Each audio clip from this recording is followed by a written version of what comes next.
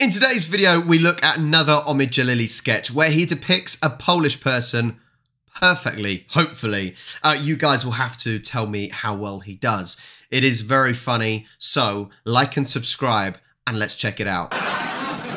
But we've come up with a new motto for Britain. Uh, would you like a little preview before 2012? Yes. The new motto for Britain is Welcome to Poland.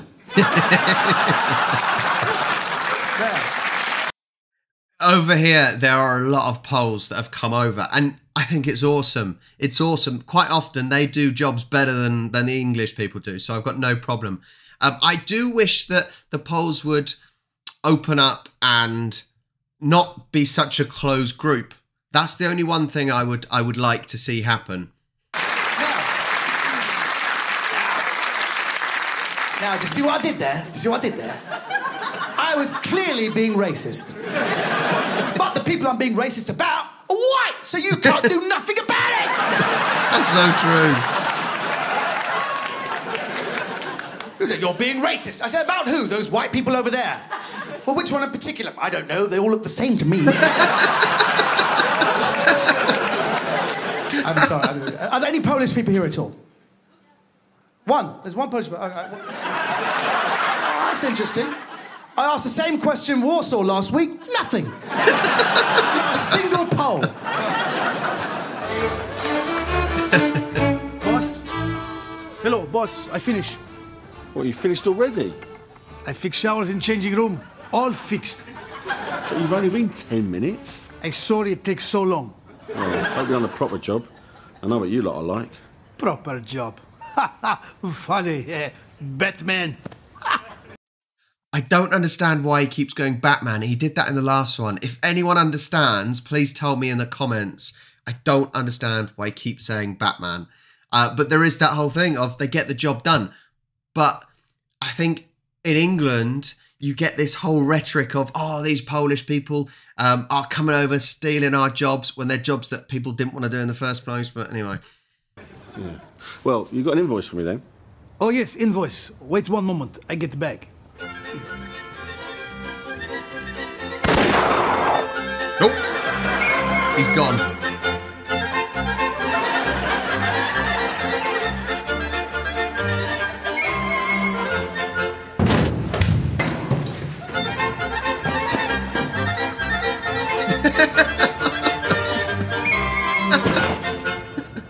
I get invoice. Bloody hell, mate. Where did you learn to run like that? I would say maybe it's just a case of Poles are quick.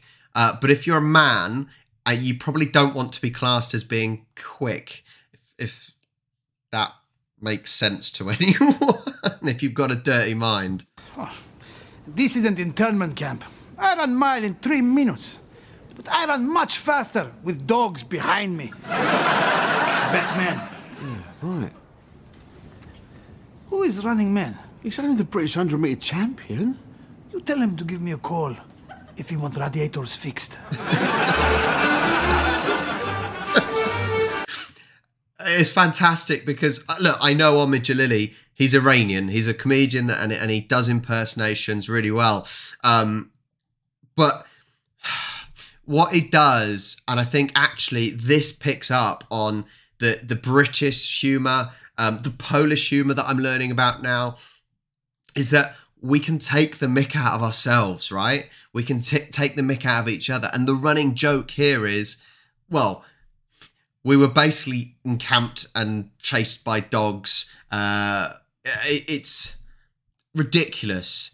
And it could be seen as being offensive to some people, I'm sure. But if we can take the mick out of ourselves and, and each other, then we're less sensitive to it. It's not like we're forgetting, it's not like we're not remembering these things but sometimes it's not good to necessarily uh, dwell and be too sensitive on these issues.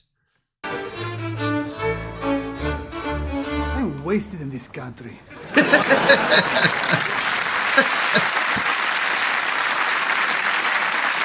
But we all know the sad thing is lots of Polish people are going back to Poland now. And I think as British people, we feel really aggrieved by this. You know, people say, send the Poles back to Poland.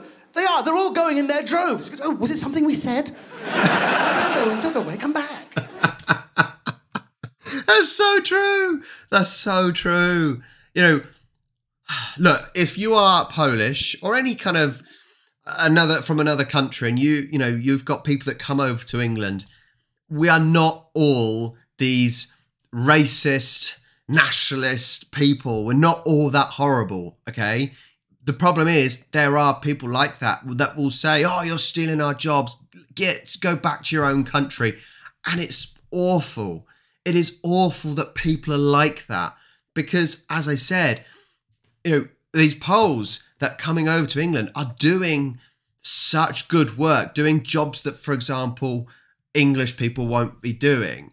Um, and they're doing it at a, at a high standard. You know, there are, there are people, for example, that I've now learnt about that are coming over from Poland from university degrees, and are and are and are doing a job levels below. And I'm not saying it's it's less valuable, but I'm saying it's level levels below what the education standard is. Um, and they're doing a bloody good job at it. So I want to apologise for all those idiots, those knobheads that are basically ignorant. Basically, they're ignorant. Um, but like I said, it's so good that you know we can take the mick out of ourselves. Look, Omar Djalili, as I said, he's Iranian and he's taken the mick out of Brits. He's taken the mick out of, of Polish people in this sketch. He's throughout all his his comedy, he takes the mick out of different nationalities and it plays on those stereotypes. And I'm sure, look, he's overdone it obviously with the whole speed of of how quick polish people get jobs done of course he's overdone it but it's playing on those stereotypes and quite often comedy is playing on those stereotypes if you think about especially old school british humor it's taking the mick out of you know when you look at some mothers do have them it's it's thinking about the the calamitous english person um that you know is clumsy is is just but it's those stereotypical things, you know? Um, and I think you've got to embrace those stereotypes. I embrace the fact that I'm grumpy. There you go. Um, another great sketch. Thank you so much for watching. If you haven't already, please do like this video down below and then hit that subscribe button to join for some more fun videos like this, some educational videos, and we'll have a good time. I'll catch you next time.